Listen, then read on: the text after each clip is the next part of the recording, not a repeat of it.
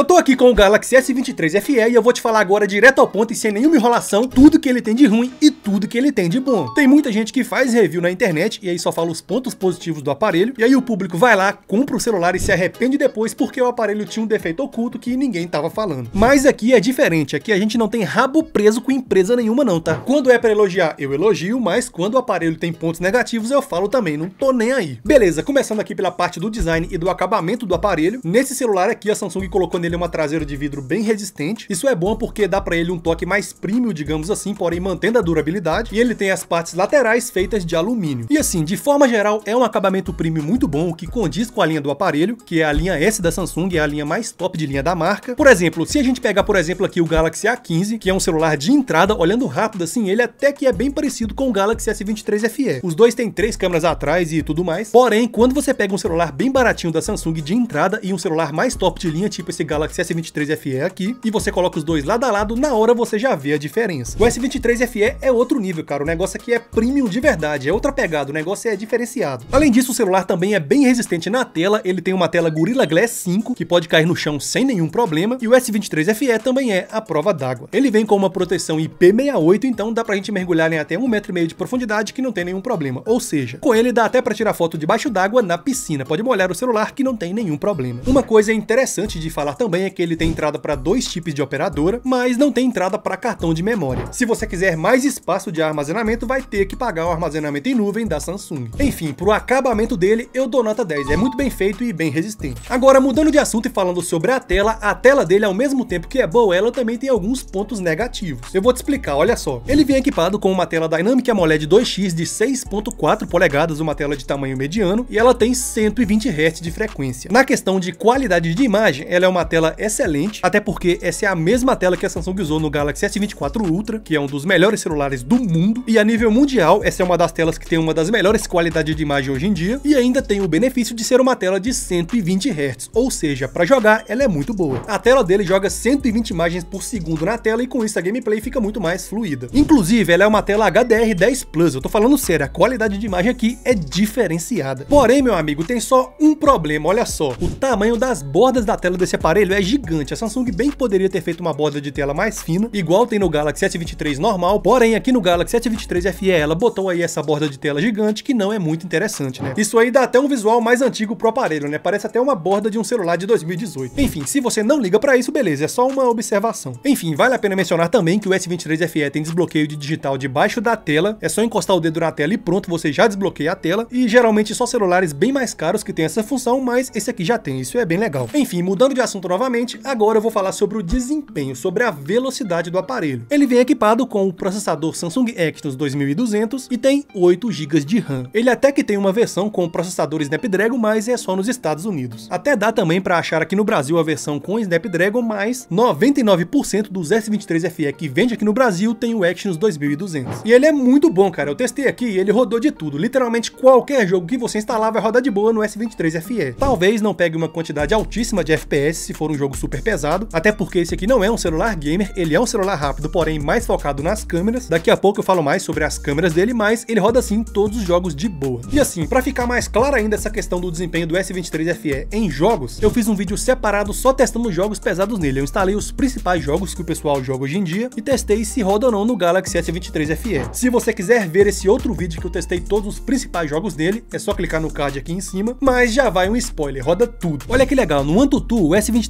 FE bateu mais de um milhão de pontos, meu amigo. Isso aí é espetacular. Hoje em dia, se um celular bate mais de um milhão de pontos, já pode saber que ele é um dos melhores do mercado atual. O AnTuTu, para quem não sabe, ele é um aplicativo famoso no mundo todo e ele testa o desempenho de todos os principais celulares do mundo para criar um ranking mundial e a gente saber se o aparelho é bom ou não. O AnTuTu ele testa placa gráfica, testa desempenho, testa câmeras, testa tudo e o S23 FE saiu muito bem no AnTuTu. Só que assim, o S23 FE também tem um ponto negativo nessa questão de desempenho, cara. É o seguinte, ele é rápido, ele roda todos os principais jogos atuais e tudo mais, porém ele esquenta. Sim, por causa desse processador que ele tem aí, se você ficar ali uns 20 minutos jogando sem parar, pode ter certeza que o celular vai esquentar, pode ter certeza. Mas assim, ele também não esquenta igual uma churrasqueira não, não é tão ruim igual o pessoal fica falando na internet não. Do jeito que o pessoal fala, parece até que o celular vai derreter na sua mão e vai pifar do nada, mas calma aí né cara, também não é tudo isso aí também não. Eu pessoalmente não me incomodei com o calor que ele faz, até porque isso não afeta o desempenho do aparelho, e assim, ele esquenta? Esquenta mas continua rápido. Mas é aquilo, né? Já fica avisado aí, o celular é extremamente rápido, ele roda tudo, mas se você ficar jogando ali por bastante tempo, ele vai esquentar. Enfim, agora outros detalhes interessantes desse aparelho são primeiro o NFC, que é aquela tecnologia de fazer pagamento por aproximação que ele possui. Ele também é compatível com a internet 5G e ele tem uma bateria de 4.500 mAh que tem carregamento de 25 watts. Nessa questão da bateria dele, ela não é das melhores, até porque ela é menor do que o padrão atual, que é 5.000 mAh, porém o celular é muito bem otimizado, então pode ficar tranquilo que ele vai durar assim o dia inteiro tranquilamente sem descarregar. O único problema é o carregador dele de 25 watts que demora uma eternidade para recarregar a bateria. Eu testei aqui e ele demorou 1 hora e 20 minutos para ficar 100% recarregado, então já fica aí avisado, ele vai demorar para recarregar a bateria. Além disso, outro detalhe interessante também desse aparelho é a inteligência artificial. Do mesmo jeito que a linha Ultra da Samsung, o S23 FE também tem aquela inteligência artificial que a Samsung lançou pouco tempo atrás e viralizou na internet nos últimos tempos aí. Dentre as várias coisas que a inteligência artificial faz, tem por exemplo a tradução em tempo real. Por exemplo, se você ligar para uma pessoa lá na China e a pessoa estiver falando mandarim com você, o próprio celular já vai traduzir tudo em português em tempo real. A Samsung começou esse negócio de inteligência artificial faz pouco tempo, então muito provavelmente nos próximos anos isso vai virar uma coisa comum. Por enquanto, poucos celulares que têm esse tipo de função. Beleza, mas e sobre as câmeras, hein? Meu amigo, esse talvez seja o maior ponto positivo desse aparelho. Ele possui três câmeras atrás. Tem uma câmera ultra-wide, uma câmera telefoto e também a câmera principal, que é de 50 megapixels com resolução 8K. E na frontal ele tem uma de 10 megapixels 4K. Tanto a câmera traseira como também a câmera frontal são espetaculares. É claro que a câmera traseira é melhor, mas a câmera frontal também é boa. E o negócio é o seguinte, durante uma filmagem o vídeo da câmera dele é boa, isso ninguém pode negar, são ótimas câmeras. Porém, cara, para tirar fotos, as câmeras deles são melhores ainda. Isso é normal, em todo celular hoje em dia a qualidade da imagem na foto é melhor do que filmado no vídeo pelo celular. E o motivo disso é que hoje em dia todo o celular usa inteligência artificial para melhorar a qualidade da imagem. É claro que a inteligência artificial sozinha não faz milagre, o celular tem que ter câmera boa, mas isso aí acontece. Olha aí como que é a qualidade de imagem das fotos tiradas no S23 FE. É muito bom, né? Ele realmente tira fotos de altíssima qualidade. Eu vou fazer aqui agora um teste da câmera frontal do Galaxy S23 FE. Tô usando o microfone do próprio aparelho,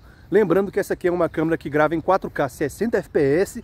Dá só uma olhada como que é a câmera frontal do Galaxy S23 FE. Olha aí, tô com o braço esticado, tô andando também pra gente ver como que é a estabilização de imagem dele, se é boa, se não é. Bom, dá só uma olhada aí. Vou andar um pouco mais rápido aqui pra gente ver como que é a estabilização de imagem dele.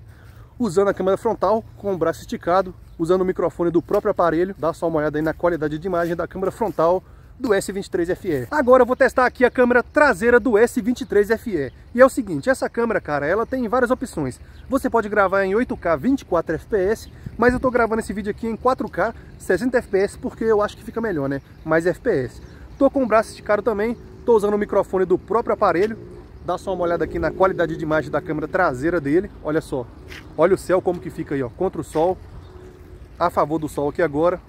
Eu vou andar um pouco rápido aqui também para a gente ver como que é a estabilização de imagem. Vou andar até mais rápido aqui.